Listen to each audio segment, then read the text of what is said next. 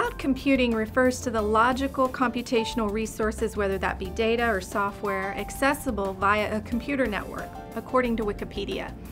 And you access that through the WAN or the internet rather than from a local computer. The online service could be offered from a cloud provider, or it could be a private organization's own property. In understanding what cloud projects are really about, project managers can focus on key areas to reduce risk and improve delivery quality by keeping these special areas under monitoring and control.